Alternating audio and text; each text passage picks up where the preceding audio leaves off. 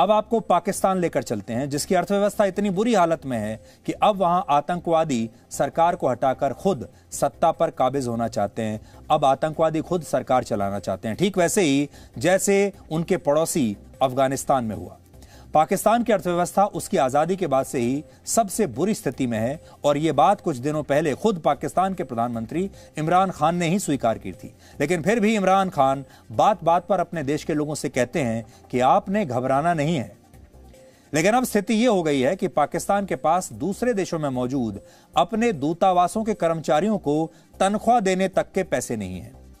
आज सर्बिया में पाकिस्तान के दूतावास की तरफ़ से एक ट्वीट किया गया, जिसमें लिखा था कि पाकिस्तान में महँगाई सारे रिकॉर्ड तोड़ रही है।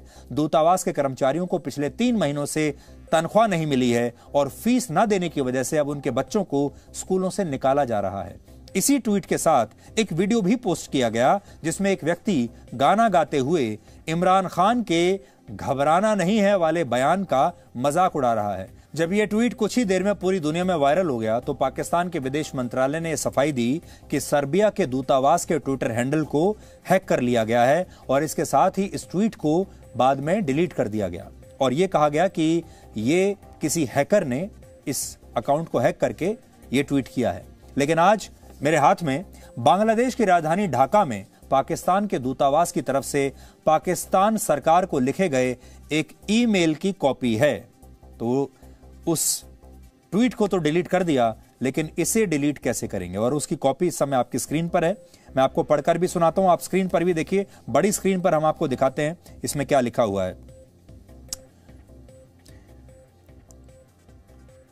तो इसमें कहा गया है as conveyed earlier by the mission the payment has already become overdue and the schools are pressing hard for the same ministry is there for requested to kindly arrange special remittance amounting to US dollars में लिखा है, एक लाख चालीस हज़ार सात सौ नौ US dollars ये लिखा हुआ है, जिसकी कीमत पाकिस्तानी रुपए में लगभग एक करोड़ के आसपास बैठती है।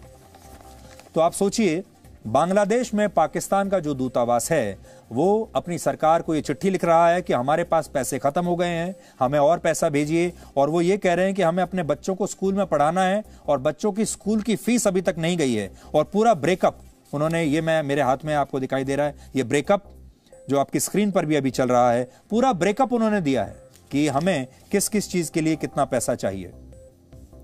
इनमें उन तमाम बच्चों के नाम दिए गए हैं जो कि स्टाफ जो पाकिस्तानी दूतावास का स्टाफ है उनके जो बच्चे हैं जो पढ़ते हैं स्कूल में और उनके आ, स्कूल कौन से हैं उनके पेरेंट्स के नाम क्या हैं और स्कूल की फ़ीस कितनी देनी है और कितनी बकाया है ये सारे डिटेल्स भेजे गए हैं। तो अब आप सोचिए, पाकिस्तान की स्थिति ऐसी हो गई है कि वो अपने डिप्लोमेट्स को सैलरी नहीं दे पा रहा है और उसके डिप्लोमेट्स जो अलग अलग देशों में उनके राजदूत हैं या दूतावासों में जो उनके स्टाफ के लोग हैं, वो अब वापस चिट्ठी लिखकर ये कह रहे हैं कि भाई, तीन महीने हो गए, हमारी सैलरी नहीं आई, हमें तनख्वाह हमारी दे दीजिए क्योंकि हमारे बच्चों की फ़ीस स्कूल की फ़ीस नहीं गई है और अगर स्कूल की फ़ीस नहीं आई तो फिर हमारे बच्चों को स्कूल से भी निकाल दिया जाएगा। ये स्थिति इस समय पाकिस्तान की है।